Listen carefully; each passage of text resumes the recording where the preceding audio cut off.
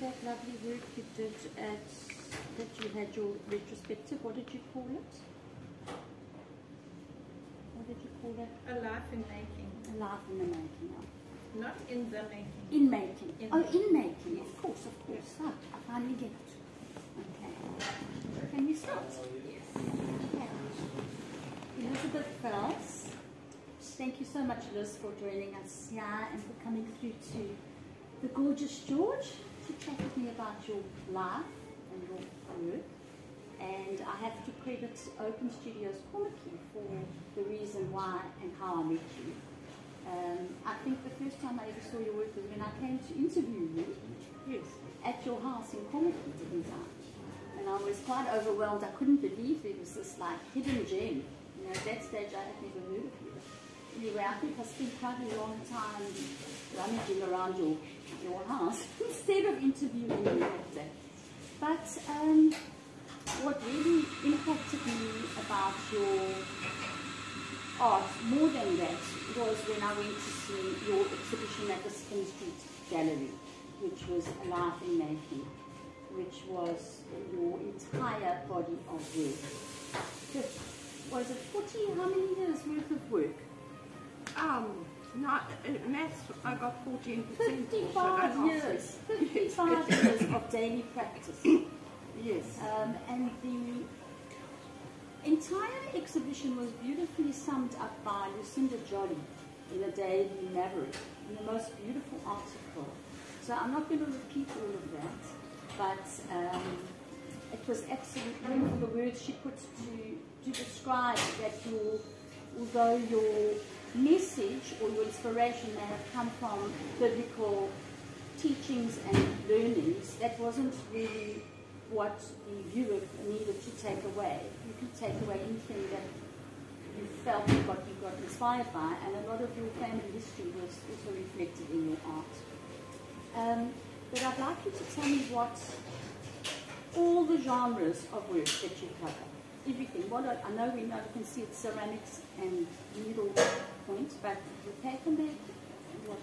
I would think that I have subverted every known craft um, and and uh, pillaged every every primal aspect thereof. Yes. In other words, I did um, the beginner's weaving course, Alta four shaft loom from Sweden. Um, got a spinning wheel, spun my own wool, even from uh, the sheep on the farm where we hired a, a cottage, and um, in a bathing costume like a Peruvian woman would sit with a and Spinning spin- wheel, yeah. not even a spindle, an ordinary spindle, which I much preferred to the spinning wheel. And having woven uh, rosengang and herringbone and all those wonderful weaving things, I decided I never want to see this again, and I gave it to some mission and got an old bed frame with um, bits of, of old tire inner tubes and uh, various other things and wove on that. Wow. And and so now I'm at coming up 86. Uh, have a whole set of these, and if you look at the the picture or the the artwork, Yes, whatever you want to call it, up there, um, a lot of the pieces are woven on these teeny little little things which can sit down nicely in the couch and have a large container full of old Yeah. rags, wool, all kinds of things. Um, so no more, no more tubes. So Liz, can I just, just to give some context to your background and the reason why we are so honoured to actually have you as part of the Falling exhibition. I'm honoured to be here. Thank you, Liz. I am more honoured to have you here. I must be honest with you. I really am. Um, works of yours in public collections, can I just say? You're in the Iziko National Gallery, Cape Town, Pretoria Art Museum, Durban Art Gallery, Tatham Gallery in Pietermaritzburg, Schlesinger Collection, the Anglo-American Corporation, the Department of National Education, the Indian Petroleum Collection, Technikon Wits Watersrand Collection, the Sasol Collection, the University of Stellenbosch Art Gallery, the South African Council of Churches. That's just your work in public collections that are accessible by the public to see your work. You are then in an innumerable amount of private collections as well. And then that excludes all the galleries that you've been exhibited in um, from back in the 1980s right up until today. So just to, to give, you know, context to your background, I think you are definitely by far our most accomplished and our most, um, well, recognized artist on this exhibition. So honestly, you bring the whole level of what we're doing here up 10 notches. And so really it's been such a great pleasure. I did have one artist complaining, why so much Liz Vels? Liz Vels, Liz Vels. so I said, when you reach Liz's uh, level, you'll also be the main artist feature. Anyway, and, and that was actually just a, a light-hearted chat. But I'd just like to also go to your paper making and your books. Well, I can just say thank you for that because I do feel that that it, it, you know. God opened the doors for Yeah, those places. It was a time and a season that um, you know mainly white artists were acknowledged, Yeah, and and I think that really to to be there was is is such an honor. Yeah, Even if I'm in the basement much of the time. Yeah, um, that that I can really thank God that that those doors were opened, and I am happy to pass on to to all these wonderful black artists who are in museums now. yeah. I mean, I have I spent two thousand five hundred on the book on the catalogue for the Jackson Hlungwani exhibition, which I kept saying, "Where's the catalogue? Where's the catalogue?" I thought, thought I had to buy it Yeah. by that time because I think that that I mean he has been slightly overlooked. All these Sorry he about the background noise. he is our most, our most wonderful um, sculptor in Africa. Jackson Hlungwani, yes. Jackson Hlungwani's working of that wood with those tools Yeah. and the the motive behind it.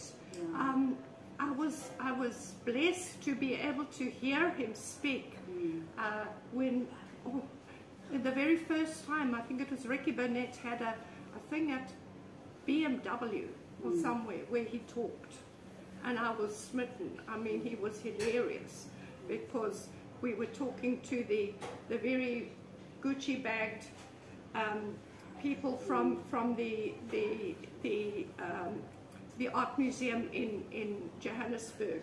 You know, the Friends of the But Art those, Gallery. but those Gucci-bagged people are the ones that spend on art and invest in our South African artists. Absolutely. So we, we, No. we love them and appreciate them. Absolutely love them. Yeah. But, but but the thing is, there. I mean, Jackson Hlungwani sitting next to his fire with showing us his his festering leg was not quite what they had expected to come to see. Yeah, but at least authentic. It was totally authentic, Mm. and and he got he got um, his first exposure there. So I'm glad to have been there.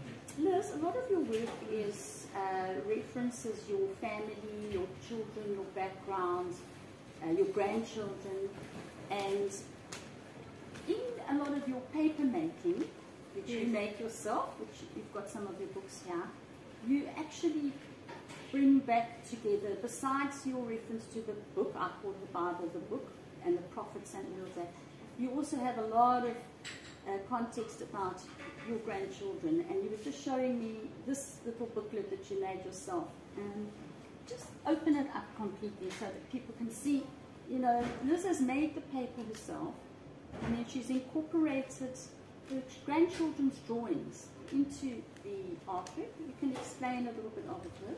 Well, this this is a very primitive. I, I did proper bookbinding. One of the crafts I I did was with Peter Carstens for years and years. I went to his evening class, and so um, I did do uh, one or two leather bound, sewn on on uh, cords, all beautifully traditionally made. Yes. And decided like the weaving, uh, I, I was not going to be doing that.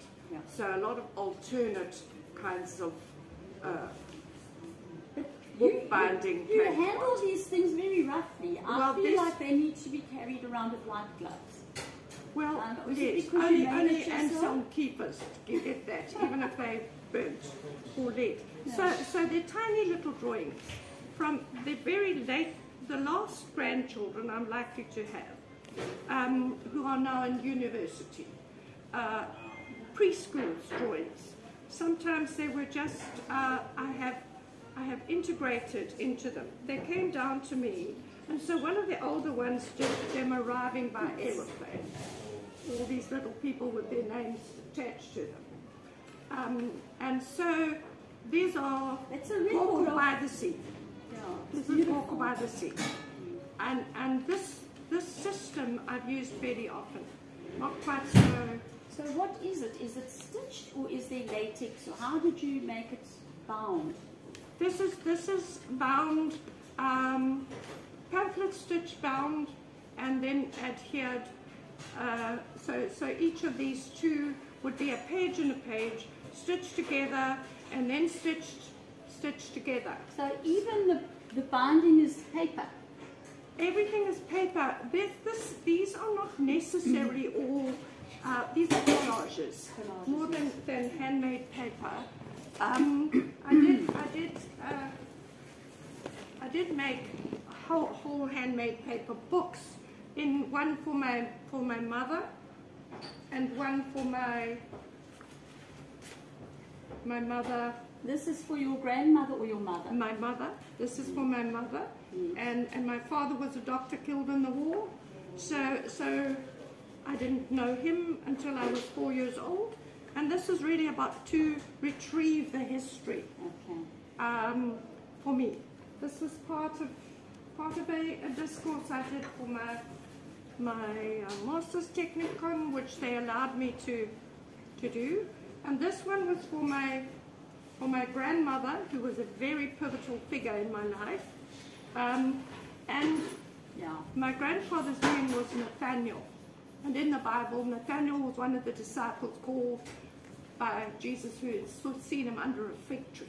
So the whole, the whole Symbolic motive of the is the, is the, fi- the fig leaf, which I, I pressed into the paper and then um, retouched. So, So that's Liz, what that- while you're showing us your books, would I be able to tempt you to read us a poem Um, from one of your books? well, let's see, let's get the shortest one. I mean, seeing as you're a poet as well, as a ceramicist, Little, little poetry group every genre of art is unbelievable.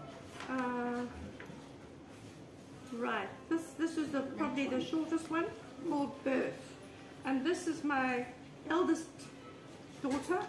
Got my younger daughter here, youngest daughter, and um, so she was the first birth I dealt with, and and this one perhaps is autobiographical.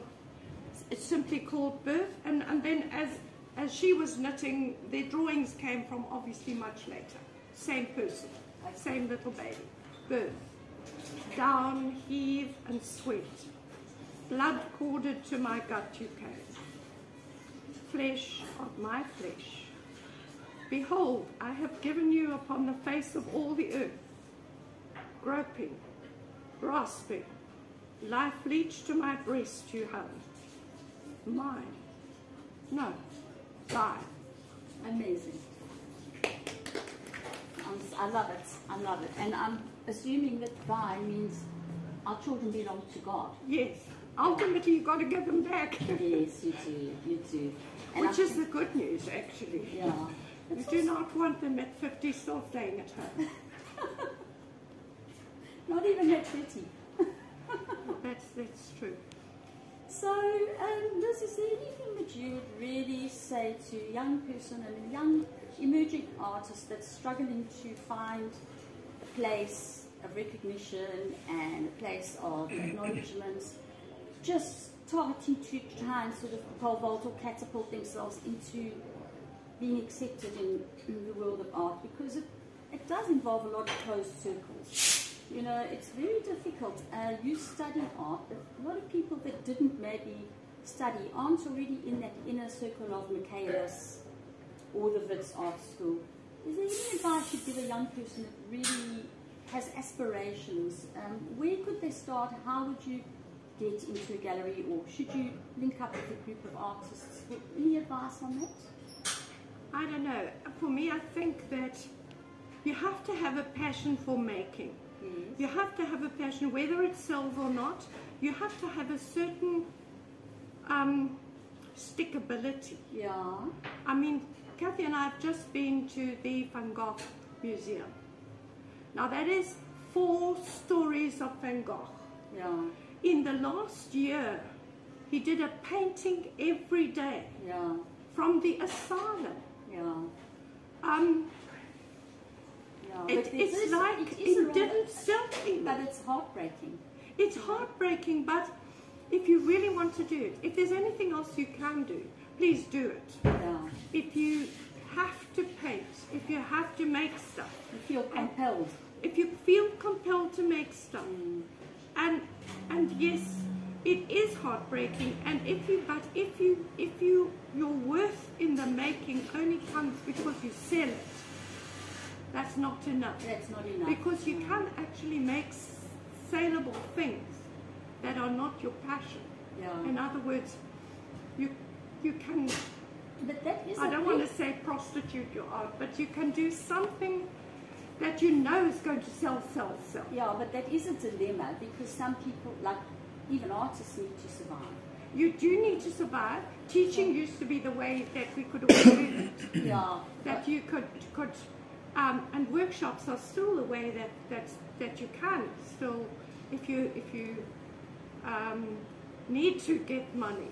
But I suppose opening up your studio, your home, or getting together with a few artists and having little exhibitions in sort of maybe low key places, you know, just doing your due diligence, you know, because sitting at home and creating on your own for time indefinite is could be demotivating. You know, when a person buys your painting, it's very inspiring because you feel, oh, somebody wants my Oh, true. on their wall, even if you don't sell it for a high value.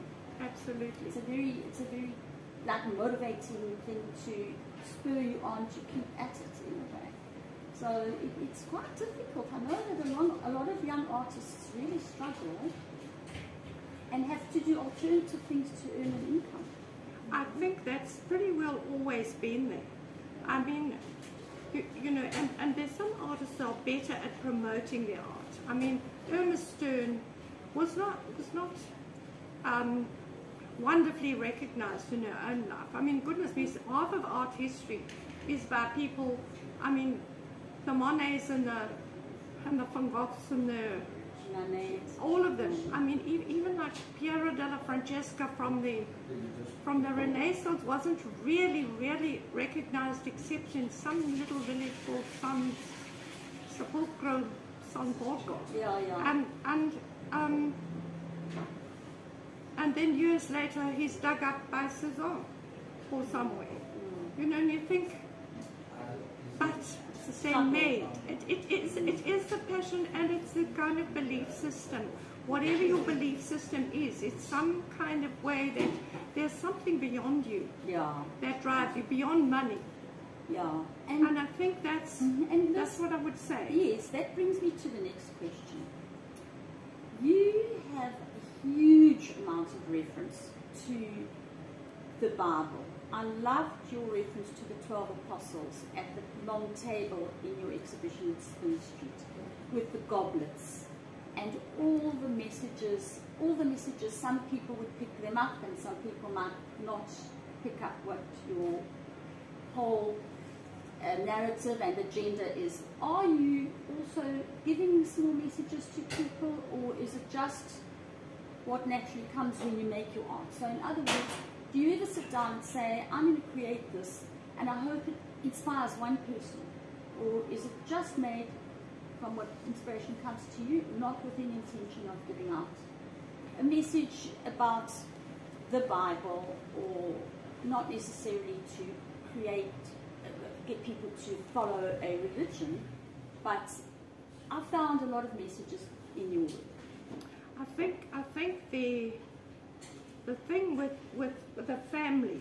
I think what more and more. I mean, I'm working on now um, a a series. I always work in a series called Gratitude, Yes. and I think that that it's you know. I mean, there's that that Jesus parable about the loaves and the fishes. Yeah. And that little guy just was brought his sandwiches. Yeah. And, and in some way, these are my sandwiches. Yes, yes, yes, yes. They So- get multiplied by themselves. well, the thing is, um, there are just bits of clay and bits of paper and bits of weaving that actually, unless they are touched, unless somebody responds to something, yeah.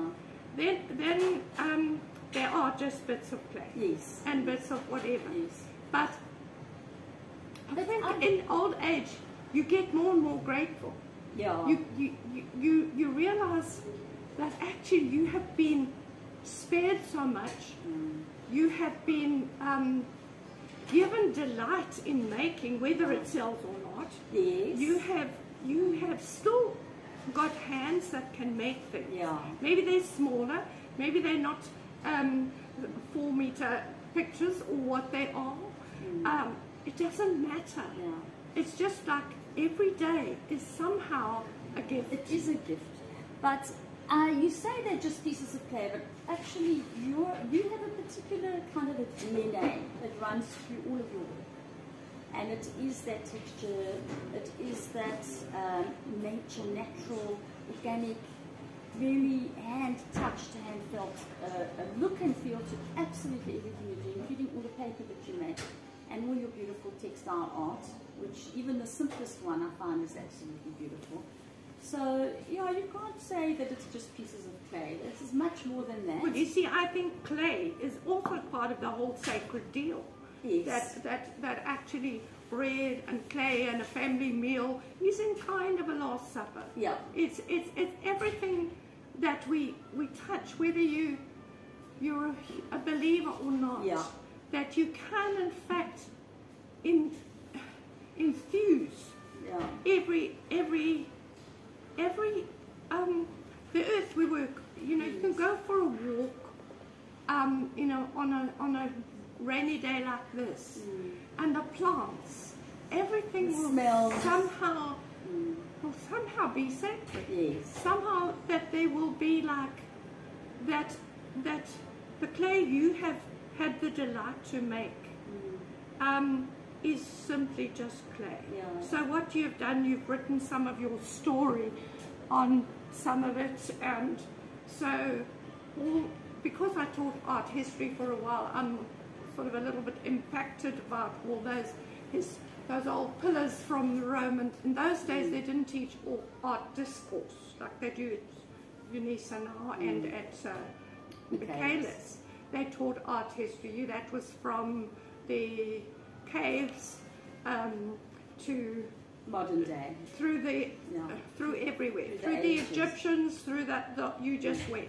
So all that stuff gets embedded. Mm. So when you do, you're quoting bits, maybe quite cuckoo bits occasionally.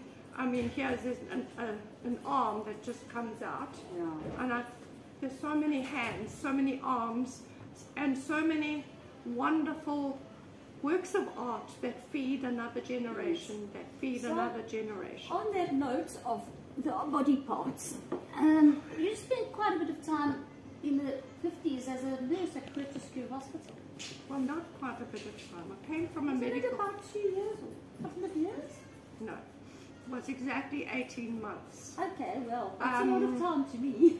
Yes, I, I, uh, but it was very, very, very important because we got real bones to Okay. to to uh, be allowed to take home to work from when you went to college.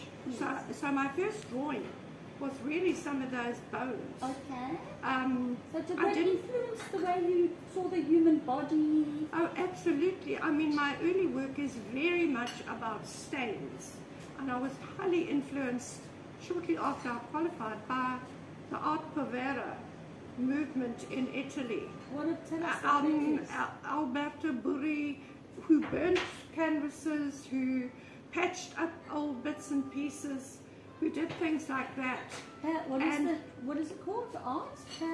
Art povera, Povera. which means poor art, you know, like art of poverty. Yeah. And and um, I really loved that. And so so so the one that's in the in the Johannesburg gallery is has got burnt holes in which, they bought fairly soon after I qualified, and um, you know stitching that gets uh, long bits of string and things, and then the early uh, what the 1985 at, at the Johannesburg gallery is was was also um, very much art povera in some things, although it was paper. Paper was, for me, I thought I was signing up to do weaving, and, and once I had threaded those big college things, I, I changed to paper. Yes, yes. Can I ask you something else? Yes. Um, I wanted to find out, you, you did that nursing, but then you went on to study teaching, and you actually became a lecturer at, in art yourself. Well, yes, I had In several. Johannesburg. Had, yes, I, I, I did several teaching things. I always wanted to do art, but coming from a medical family, that that I think my mother had something. We did. Ha- she did give a few to the church faith. She had Tinus de Jongh etchings, and she had a, a rather lovely piece with uh, a a still life and poppies, and that was like my art education Yeah. at primary school. Go to. Yes, and I did make I did make um, chewing gum. I mean, from a medical family, this is not a good story. Um, I, I chewed up everybody in my classes chewing gum, and I made these very spastic um, ballerinas. So that was my early art education. Okay. And then, so you went on, you became a lecturer, and what was the subject of your thesis? Hmm. It was called Logos as Artifact. It came in two volumes, and, and um, Greg Carr and Willem Boshoff, who I did it with, um, said it could be it could be salvaged in a flood because it was bound in, in plastic, although it was handmade drawings and everything in it. And Kathy helped me. In those days, you had to cut a tranny Do you remember? for each page, a tranny for each page. Then we, we shrunk that and, and made that bigger and smaller, and it was a work of Jack Gins. I, I donated it to Jack To Jack Ginsberg. Ginsberg. Well, that really brings back Um, memories. And Yes, and it the colours all came out because this was early. What was that printing? That printing that you get made now that that does colours. Well, it was the early thing. I paid fortune to get them done, but the pale greys came out deep purple. So this whole book, I said to Jack, if you get the real picture ever, it's never going to look anything like what you're seeing here. He didn't seem to mind. So, just in summing up what I would like to say, what I would like to just say about you and your work and your amazing history that you've shared with us in this exhibition, is for me as an as a viewer, I find that your work has a timeless appeal. It appeals to all generations. It appeals to all types of people, from the contemporary to the traditional. You know, there's nothing in your collection, in all your work, that one they would anyone would walk in and they would find something they love, which is not what you can say for many artists, because many artists get very stuck in a look and feel, and that's all they reproduce. So, and I mean, I see it myself a lot. So, you know, you can identify that person's work, and yes, obviously one can identify your work. But I find out of the bigger names in South African artists, artists, I find that Elizabeth Vels' art has a very timeless and broad appeal, real broad appeal. So, I mean, what was really lovely is one of the young women that work in the hotel now was wanting to buy one of your vessels.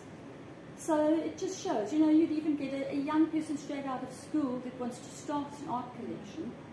And the other lovely thing that I love is that you have work that uh, eclipses all price ranges. You've got work that's affordable and you've got work that's in the hundred odd thousand. So it's not as though a person wanting to start a collection and wanting to start buying Elizabeth Vels needs to be a million.